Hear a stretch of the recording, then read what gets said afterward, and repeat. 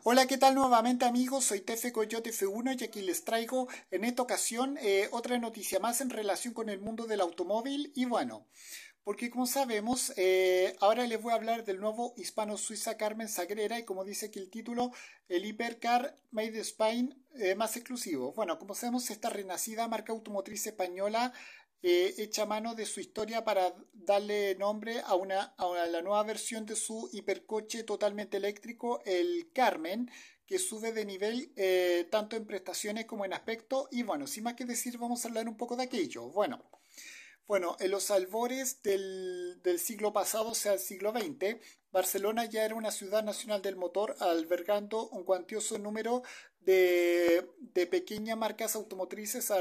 eh, casi artesanos de primitivos coches que poco a poco fueron dejando eh, pasos a otros más grandes como la mismísima Ford Motor Company venía desde Estados Unidos y bueno.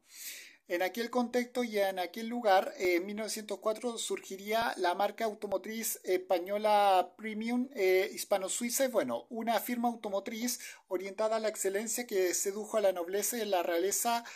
de aquel entonces, empezando por el mismísimo monarca español Alfonso, eh, Alfonso, XIII, eh, Alfonso XIII y bueno, eh, la histórica marca automotriz española de, de automóviles de lujo presenta su nueva creación, una nueva variante del Carmen, el hipercoche totalmente eléctrico que marcó el renacimiento hispano-suiza y bueno, el nombre de este modelo hispano-suiza Carmen Sagrera. Bueno, así la renacida marca hispano-suiza mira hacia su pasado con el propósito de bautizar su, tercer proyecto, una nueva versión, una nueva variante del Carmen que toma prestado eh, su nombre del barrio barcelonés La Sagrera, eh, donde la empresa automotriz eh, española contaba con una gran y sofisticada fábrica. Eh, hasta el momento solo se disponía de un teaser con forma de video donde los mismísimos responsables de la marca automotriz española relataban el origen de la, de la mencionada denominación y otros detalles estéticos para este vehículo totalmente eléctrico y bueno, ahora finalmente se puede descubrir la estética más agresiva de un Sagrera que promete un mejor paso por curva y una capacidad con el propósito de y una capacidad con el propósito de generar mayores aceleraciones laterales y bueno, la nueva entrega disfruta de importantes evoluciones en materia aerodinámica. En la parte, en la parte delantera, o sea, frontal, el, el, equipo diseño introduce una nueva rejilla con formas más puntiagudas, con en un claro guiño a los hispanos suizos Alfonso 13 eh, y bueno, un coche deportivo de lujo de principios del siglo XX y bueno, también se rediseña la salida de aire de su capó y opta por unas nuevas taloneras así como un novedoso panel trasero y es que la saga es donde aparece la mayor diferencia. Aquí todo el protagonismo sobrecae sobre un gran alerón posterior con forma de alas de, cigüeña que se divide en dos plazas eh, para rendir honores al característico logo de Hispano Suiza en compañía de un difusor con eh, eh, acento de cobre y bueno. de de, de puerta para adentro también hay cambios más o menos importantes como el rediseño eh, tanto de, su tablero como del sistema multimedia. Bueno, la automotriz española opta por una tapicería con alcántara que posee detalles en piel negra y roja, así como unos materiales que enfatizan el carácter exclusivo de este coche, de este modelo. Por cierto, para vestir la carrocería se eligió el tono mate Cava Gold y bueno. Eh, esto es lo que asegura el comunicado de prensa un color eh, rico en matices en función de la incidencia de la luz y que nos transporta a la cultura vitivinícola de que forma parte del ADN del grupo Perelada, perteneciente a la familia Suki Matu, eh, también propietaria hispano-suiza. Bueno, en la parte técnica su principal novedad eh, está de la mano de una nueva batería que tiene como capacidad 103 kilovatios hora, eh, cuya presencia va a permitir a este Sagrera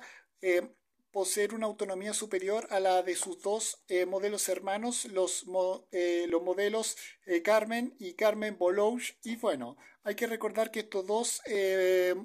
modelos, estos dos coches, recurren a un paquete de baterías que tienen 80 kilovatios hora y, y, y tiene como autonomía y tiene una autonomía que no tiene, no tiene más de 400 kilómetros y bueno, pero esta vez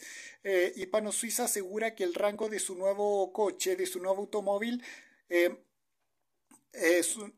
tiene como rango de autonomía 480 kilómetros y bueno, aparte de eso la firma automotriz española introduce un nuevo sistema de refrigeración para así obtener una mayor efectividad del control de la temperatura y un menor consumo de energía y bueno,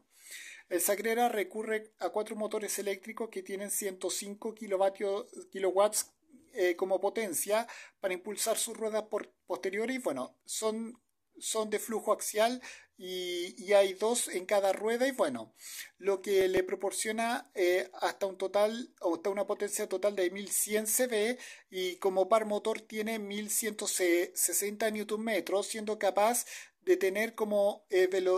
como aceleración de 0 a 100 km por hora tan solo 2,6 segundos y bueno, su velocidad máxima no, eh, no, no, no trascendió, pero debería, pero como sabemos, tendría como velocidad máxima más o menos 300 km por hora y bueno, para controlar toda esta potencia se optó por una suspensión del tipo eh, paralelogramo eh, deformable con amortiguadores que permite variar el reglaje de compresión y extensión aparte de muelles helicoidales ajustables tanto en dureza como en altura. Y bueno, con respecto a su freno la automotriz española asegura que la potencia del sistema aumenta en un, en un 5% optando por discos carbocerámicos que tienen 400 milímetros en los dos ejes, soportan hasta 1000 grados de temperatura y, y y pinza con un solo bloque para así eh, poder eh, tener el mejor tacto de frenada y bueno la dirección por su lado también se ajustó para la ocasión al igual que los pedales porque ahora son más rígidos y con mayor agarre. Y bueno no se sabe cuántos ejemplares va a decidir eh, producir esta producir la marca automotriz de este coche, de este automóvil y bueno, no serán muchos dados los precedentes, pero sí, pero sí sabe que los interesados en este nuevo vehículo eh, de la marca automotriz española hispano-suiza deberán esperar unos nueve meses para recibir eh, su ejemplar y pagar alrededor 2,5 millones de euros, algo así como 270 millones de pesos chilenos antes de impuestos. Su debut dinámico tendrá lugar dentro de un mes para la, próxima, la nueva versión 2024 del Festival de la Velocidad de Goodwood. Y bueno, por último y como modo de curiosidad hay que mencionar eh, que para esta variante especial hispano-suiza usó una leyenda japonesa como su leitmotiv y bueno, una leyenda que cuenta que